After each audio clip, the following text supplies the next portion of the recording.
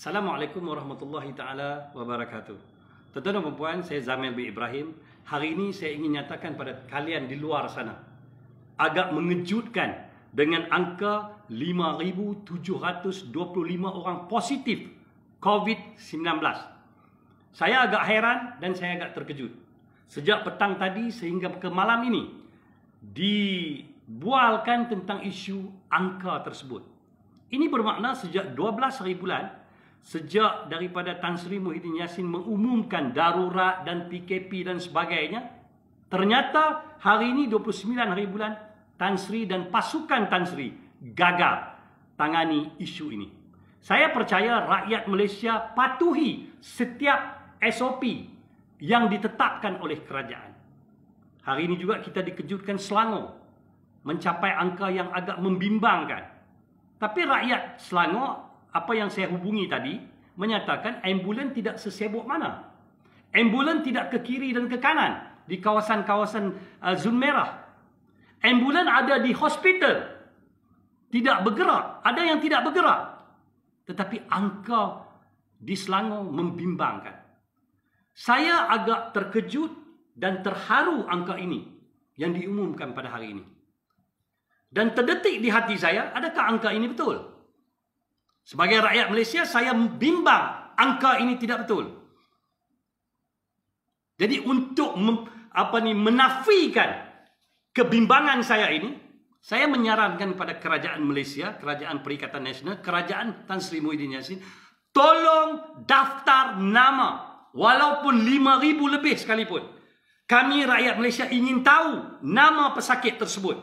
Di mana mereka tinggal? Tak payah sebut nam, uh, nombor IC mereka. Sebut mereka tinggal di mana, taman mana, kampung mana, nama mereka. Sebab taman mereka juga ingin tahu pesakit COVID berada di taman mereka. Kampung mereka juga ingin tahu salah seorang daripada kampung mereka pesakit COVID-19, positif COVID-19. Mereka ingin tahu. Jadi saya percaya rakyat Malaysia tentu saja boleh menjadi sukarelawan untuk mendaftar, untuk daftar pesakit-pesakit yang ada angka sampai 5000. Saya percaya dengan eh, sistem komputer yang canggih di hospital masing-masing, di hospital di seluruh negara tentu ada sistem yang canggih. Kita bukan zaman uh, tahun 50-an. Kita boleh key nama pesakit tersebut. Kita boleh masuk ke dalam WhatsApp Kementerian Kesihatan Malaysia dan kita boleh tahu angka nama kampung mereka mereka tinggal di mana. Ini kalian cuma sebut angka 5725. Ini telah menakutkan peniaga-peniaga kecil. Peniaga-peniaga kecil rakyat Malaysia tidak tahu apa akan terjadi di masa akan datang. Di minggu-minggu akan datang. PKP bagaimana lagi nak dihadapi oleh rakyat Malaysia? Dengan angka begini, mereka nak menjaga apa lagi? Dengan angka yang begini, apa rakyat Malaysia nak buat lagi? Makna kata, di sebalik, di cerita sebalik satu lagi, iaitu kerajaan ini gagal. Saranan saya sebagai rakyat Malaysia, Tan Sri Muhyiddin Yassin dan kabinet yang berada dalam kerajaan ini, letak jawatan segera serah kembali kepada Agong, ke bawah Duli Yang Maha Mulia Sri Paduka Baginda yang di-Pertuan Agong, memohon agar Agong melantik seorang ahli parlimen di kalangan 222 sekarang tinggal 220 sebab dua kematian. Agung pilih. Kerajaan ini sekarang telah menampakkan gagal. Jadi nak tunggu apa lagi? Nak tunggu covid sampai berapa ribu lagi? Ambulan tidak sesibuk mana? Sebagai rakyat Malaysia kami curiga angka ini. Saya curiga angka ini untuk itu saya desak Kementerian Kesihatan tolong tulis nama. Kita boleh cek di WhatsApp Kementerian Kesihatan. Nama-nama 5725 kami nak tahu siapa mereka. Kita nak tahu siapa mereka. Ini pakai sebut 5700, 4300, 3200. Apa ini? Mati kita boleh sebut. 10 orang mati kemungkinan besar. 15 kematian. Kita juga ingin tahu siapa yang meninggal. Kemungkinan besar saudara kita. Tetapi angka hari ini jelas menunjukkan kerajaan Tan Sri Muhyiddin Yassin gagal. Kalau dah gagal, orang Kedah cakap nak tebiang apa lagi? Nak teruskan apa lagi? Dah kalian gagal.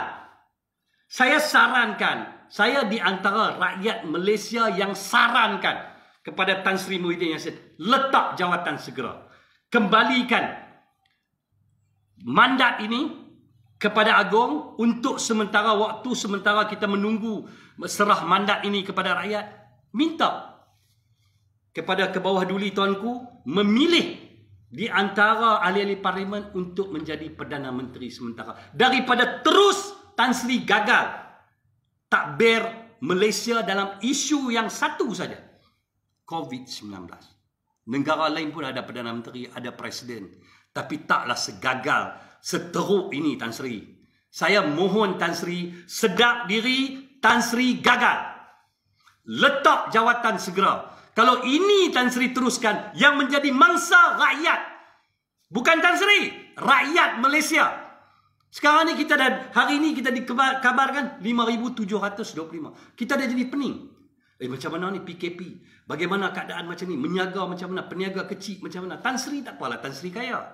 Peniaga-peniaga kecil saya, adik-beradik yang lain. Kena fikirlah tentang rakyat. Kalau dah kalian tak boleh fikir tentang rakyat, kalian letak jawatan. Tak usah duk gagah juga. Saya mohonlah Tan Sri. Saya mohon maaf agak emosi sikit hari ini sebab saya rasa macam kena tipu. Dengan angka hari ini saya tak percaya. Saya terus terang kata saya tak percaya selagi tidak disenaraikan 5,725 orang ini. Saya tak percaya. Tolong sebut pada saya angka ini, siapa dia, kampung mana, di mana dia tinggal. Jika ini tidak dapat didedahkan dalam tempoh 24 jam, makna kata Tan Sri, Kabinet Tan Sri, pembohong kepada rakyat Malaysia. Saya nyatakan di sini, tolong senaraikan 5,725 pesakit ini. Siapa dia? Di mana dia tinggal? Kemungkinan jiran saya? Kemungkinan adik-beradik saya? Saya tak tahu. Rakyat Malaysia ingin tahu siapa dia 5,725 orang ini. Tolong sertakan. Besok dalam tempoh 24 jam kami nak tahu siapa. Kami boleh cek dalam web Kementerian Kesihatan. Tolong masuk ke sana tak apa. Kami akan cek. Tapi kalau nak sebut angka saja, anak saya pun boleh sebut angka. Tan Sri, tolong lakukan. Kalau gagal lakukan, letak jawatan segera, serah balik kepada Agung. Agar Agung memilih, jangan memaksa diri kalau dah memang gagal. Assalamualaikum warahmatullahi taala wabarakatuh.